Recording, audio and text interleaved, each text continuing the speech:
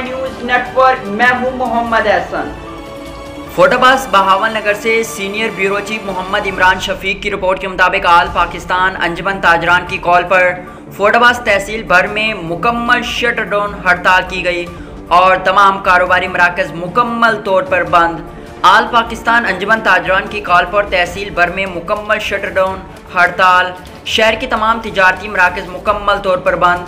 तहसील बाज़ार, मेन बाज़ार, चमन बाज़ार, अनारकली बाज़ार, कपड़ा market, cycle market, mobile market समेत तमाम बाज़ारों में कारोबार बंद। शटर डाउन हड़ताल के बाद तमाम मेडिकल स्टोर भी बंद। बिजली, पेट्रोलियम की कीमतों में इजाफे और महँगाई के खिलाफ तमाम ताजर तंजीमों सरापा एहतजाज हैं।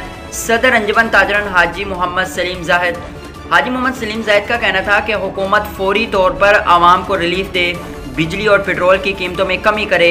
हुकूमत ने अगर मुतालबा तस्लीम ना किए तो मरकज़ी क्यादत की कॉल पर एहतजाज का दायरा वसी कर देंगे।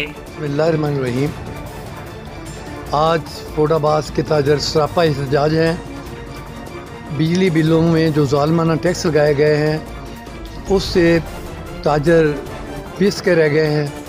हम हुकूमत पाकिस्तान से मुतालबा करते हैं कि ये ालमाना टैक्स जो लगे हैं बिलों में, इनको फेल फॉर वापस लिया जाए और हमारे साथ नारवा सलूक बंद किया जाए, महँगाई कम की जाए। इसके अलावा हम आल पाकिस्तान अंजमन ताजरान के हुक्म पर आज फोड़ा बास खिची वाला मरोड मुकम्मल बंद है। हमारे साथ गला मंडी और बाकी तमाम बाज़ार भी हमारे साथ तावन कर रहे हैं।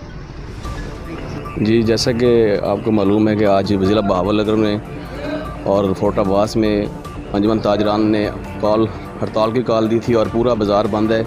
तो इस हड़ताल की जो मेन वजह है, जो बिजली के बिलों पर जालमाना टैक्स लगाए हैं तो उसके हवाले से ताजरों ने और आम आवाम ने हड़ताल की हुई है। तो हम इस हुकूमत से जो निगरान गवर्नमेंट है, उससे मुतालबा करते हैं कि जो बिजली के ऊपर जो जायद टैक्स लगाए हैं, उसको फिल फॉर वापस लिया जाए, वरना ये हड़ताल जारी रहेगी।